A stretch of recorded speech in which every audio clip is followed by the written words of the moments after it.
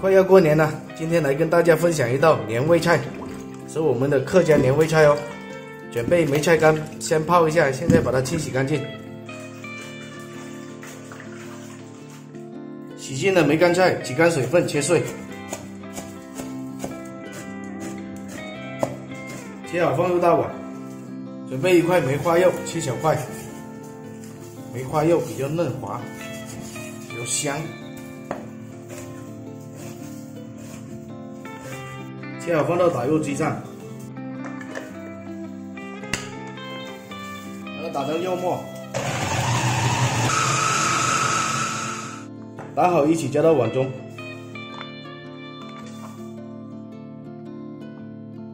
准备点姜葱切碎，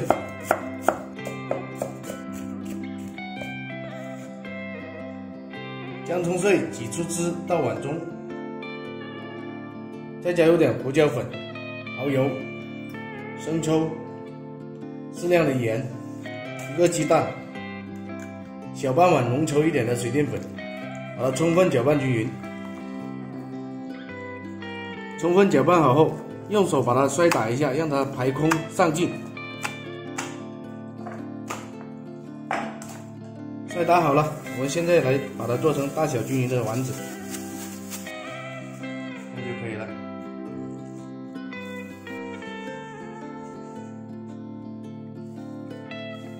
锅中倒入多一点的油，把油烧至六成热。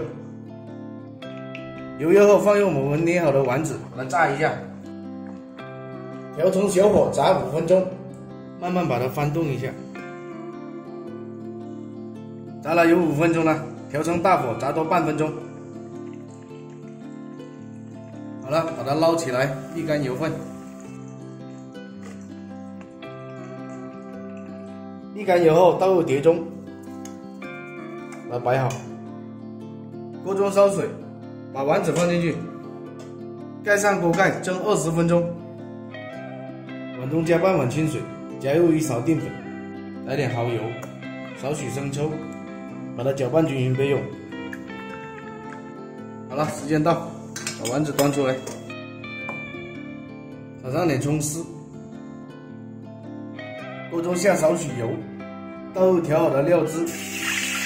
把它煮至浓稠，这样就可以了。浇到丸子上，这道客家梅菜丸子就做好了。喜欢的朋友试一下，肉质嫩滑的口感，加上梅菜干的香味，好吃不腻又解馋。